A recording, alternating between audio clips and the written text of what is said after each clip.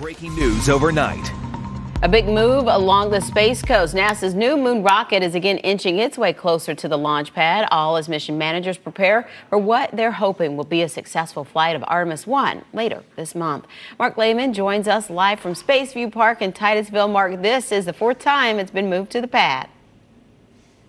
It comes after delays, a couple of scrubs, and worries about Hurricane Ian. Now NASA officials say all of that is behind them, and they also say they're confident this will be the last trip to the launch pad before liftoff. Now here's video from overnight. Artemis, the Artemis 1 rocket uh, began rolling out of the vehicle assembly building around 11:17 last night, which was a little earlier than scheduled.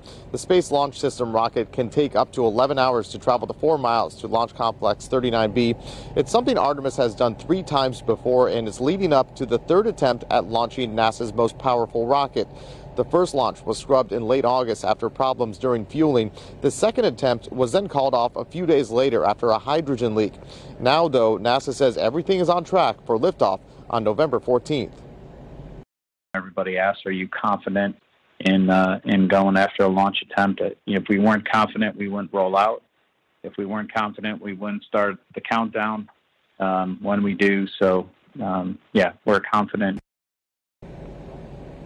In late September, Hurricane Ian forced a rollback to the VAB. Since then, teams say they were able to make more repairs and replace hardware to prepare for the upcoming launch. The uncrewed mission will send the Orion spacecraft to circle the moon before returning to Earth. If successful, it will put NASA closer to sending Americans back to the moon and possibly to Mars. Now, when it comes to the launch, NASA says it's monitoring a tropical disturbance that could bring strong winds to the area on the 14th, but it's too, still uh, too early to determine uh, that impact.